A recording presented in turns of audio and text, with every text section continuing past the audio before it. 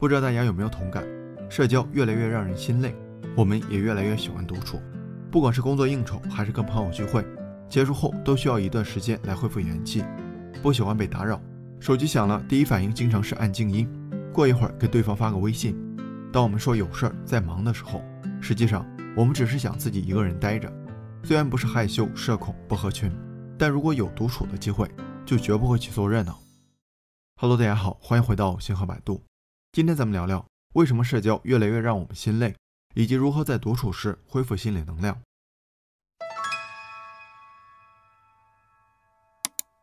我们先从内部分析。一九二一年，心理学家卡尔荣格提出了内倾型和外倾型两种性格特征。一般情况下，人们都简单的理解为内向和外向。内向的人话少、孤僻、不合群，而外向的人口才好、爱交际、受欢迎。但这么分不太准确。事实上，两种性格的本质区别在于心理能量的指向方向。外倾型人的心理能量指向外部世界，他们容易无聊，需要通过关注外界的人和事儿来获取能量。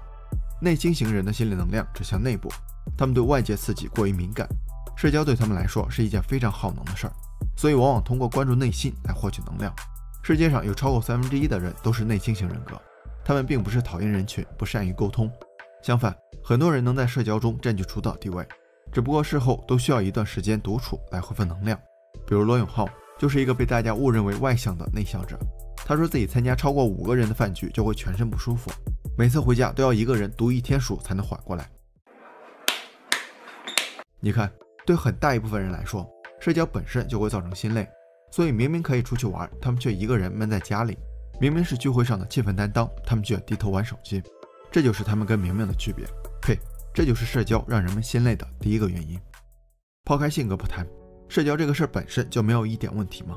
根据美国社会学家霍曼斯的社会交换理论，社交本质上就是交换关系。每个人都渴望在社交中为自己争取到尽可能多的报酬，比如感情、物质、信息、权利、服务。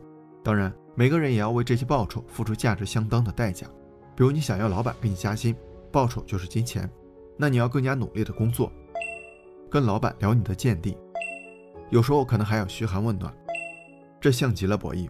每个人心里都打着小算盘，你会想老板能给你加多少薪水，老板也会想你能给公司带来多少价值。这个过程本身就很累，而且不止在社交中，社交前后你都要努力的做三件事：一、放大自己的可交换价值；二、降低付出的机会成本，三尽可能提高投入产出比，每一项都需要我们权衡利弊，做选择和决策。咱们之前也聊过，这是非常消耗脑力的。几乎所有的社交都可以用社会交换理论来衡量。追一个女孩，参加一个酒局，帮一个朋友，都是交换，只不过感情的交换更抽象、更隐晦、更不透明。对于交心的亲人朋友来说，大家更看重感情，所以淡化了交换本质。但现实中的社交哪有那么多交心的，对吧？为了在社交中获取更多利益，人们一般不会展现出最真实的自己，而是戴着对自己有利的面具。这就引出了第三个原因：情绪劳动。这个概念是由社会学家霍克希尔德提出的，本意是在工作中管理好自己的情绪，以达到所在职位的工作目标。比如一些服务人员，即便被客户百般刁难，即便心里憋了一堆脏话，但还是要保持职业微笑和服务热情。事实上，情绪劳动不只存在于工作中。只要涉及人际交往，相对弱势的一方就得付出一定的情绪劳动。所以，即便你是个外倾型的人，在一些社交场合也不得不压抑真实的情绪。你跟甲方应酬，他要求奇葩，你也得频频微笑点头；他让你喝酒，你也得把自己灌醉。真的是人在江湖，身不由己。如果把情绪分成两个维度，一个是真实的，叫做情绪感受；另外一个是表现出来的，叫做情绪表达。这两种情绪差别越大，你付出的情绪劳动就越大。自然也就越累。咱们可以想一下，能让自己展示真实自我的社交场景真的太少了。多数情况下，我们都需要戴上面具。所以拖垮我们的不只是令人生厌的社交，还有比社交本身更讨厌的情绪劳动。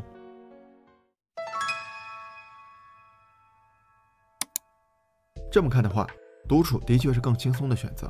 但是，就跟我们需要为社会交换付出代价一样，我们也要为独处的轻松付出一定的代价。人类是社会性很强的动物。英国牛津大学的人类学家罗宾·邓巴提出了一个一百五十定律，也就是说，灵长类动物的大脑尺寸跟可组建的社群规模成正相关。人类的大脑能允许一个人建立稳定社交的人数大约是一百五十人，这也被称为邓巴数字。一种解释是，社交是一种脑力锻炼，你跟其他人社交需要处理大量的信息，要记住他们的身份地位、社会关系、性格偏好，要衡量如何相处、怎样付出，才能在社会交换中占据优势。反过来，由于大脑的可塑性，缺乏社交也有可能对大脑造成一定的损害。二零一九年，德国科学家通过磁共振成像，发现九名极地探险家结束在南极研究站十四个月的工作后，大脑参与新记忆形成的海马体齿状回平均缩小了百分之七。他们在空间处理能力和选择性注意力这两项脑力测试中也表现出了较低水准。另一项研究，科学家观察从实验室退休的黑猩猩，发现那些小时候被隔离的黑猩猩对侵犯个人领域的容忍度更低，也更不可能为其他成员梳理毛发。这是黑猩猩族群中建立信任、增强交流的一种重要方式。也就是说，被独处的黑猩猩社交积极性更弱，社交规模也更小。既然独处会引起社交问题，那我们在独处时，除了高效的恢复心理能量外，还要适当的锻炼脑力，消除独处对大脑的负面影响。这刚好是接下来咱们要聊的如何进行有益独处的两个方向：一、高效恢复心理能量。其实很简单，就是以自己最舒服的方式彻底放松自己。喜欢吃就敞开吃，喜欢打游戏就可劲玩，怎么爽怎么来。这里有两个方法：一看电影，在社交中感到心累的人，往往也存在社交时内在失序的现象，也就是外界的资讯对意识造成了干扰和威胁，这被称为精神伤。看电影能够帮我们从压力中抽离出来，整理注意力，而且需要的精神能量很少。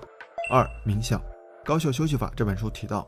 七十多名医生在实践正念后，因职场倦怠导致的情绪疲劳症状改善了百分之二十五，而且它不仅能高效的恢复心理能量，还能对大脑结构造成积极的影响。二零一四年，有学者回顾并分析了二十一项神经影像学研究中三百名冥想练习者的大脑形态，结果发现冥想者的八个脑区发生了变化，包括负责原意识区域的额叶皮层，负责身体意识的感觉皮层，负责记忆的海马体。负责情绪调节的前扣带和中扣带等，每天在一个固定的时间点坐下来，找一个可以专注的对象，比如你的呼吸、身体的感觉或者一个想法、一个声音，然后调节呼吸，把注意力集中到你选的对象上。如果走神了，想使大脑跳出一个想法，慢慢拉回注意力即可。刚开始可能会有些困难，我们可以先尝试五分钟，习惯之后再延长到十到十五分钟。因为对时间要求比较低。所以在感到社交疲惫时，我们就可以找个相对安静的空间待一会儿。这几分钟的短暂冥想，几乎相当于几个小时的独处时间，亲测非常高效。二、利用独处锻炼脑力，这里也有两个方法：一、把独处变成高质量社交。正常的面对面社交是即时的、双向的；还有一种社交是异步的、单向的，那就是阅读。阅读其实就是与作者进行跨越时间、空间的沟通。我们像是一个倾听者。虽然没见过加缪，我们也能体会到他给生命赋予的哲学意义；虽然没见过鲁迅，我们也能听他诉说当时那个吃人的社会。读完一本书，就相当于跟这些牛人独处了很长时间，他们给我们带来的深度思考和高级认知，都能为我们的社交积累丰富的知识储备。另外，如果能在阅读后写一写读书笔记和感想，无形中也是在跟这些作者对话。这种高质量的社交模式，可比一群人在聚会上寒暄，在酒桌上吹牛强太多了。无效社交真的只是在浪费时间。对很多人来说，低质量的社交远不如高质量的独处。二、利用心流提升创造力。你一定体会过这种感觉：全部的注意力都集中在某件事上，屏蔽了周围的干扰，忘记了时间的流逝。这种全情投入、物我两忘的感觉就是心流。它的特点是能激发很高的创造力，消耗很低的能量，同时带来很强烈的愉悦感。跟一群人沟通很难进入心流，但独处时就容易很多。而且由于内倾型的人更关注内心世界，所以也比外倾型的人更容易进入心流。心理学家米哈里在《心流》这本书中，每次都以作曲、攀岩、舞蹈、航海、下棋作为最优体验的例子，因为这些活动传导心流的效果非常好。如果要在独处时进行，可以从这两类活动入手：一个是竞技类，就是下棋、打游戏；另外一个是创造类，就是作曲、绘画、写作这些。找一个适合自己的，最好是有一定目标，能学习新技能。可以提供反馈，并且让控制成为可能的项目。独处时向内探索，在内心世界寻找幸福感的同时，也能体会到心流对创造力的提升效果。很多小伙伴可能跟我一样，不想社交，并不是因为害羞、社恐、不善于沟通，而是很多社交真的让人心累，又没有什么实质性作用。而独处也不是我们逃避社交的无奈之举，而是我们听从内心的自主选择。上面这些方法不仅能让我们高效的恢复心理能量，还能适当锻炼脑力，提升社交时的自信和掌控感。好了，今天的视频就到这儿了，感谢小伙伴们坚持看到了这里，希望大家能点点三连。如果这些对你依然没有帮助，记得给我留言，我再想想办法。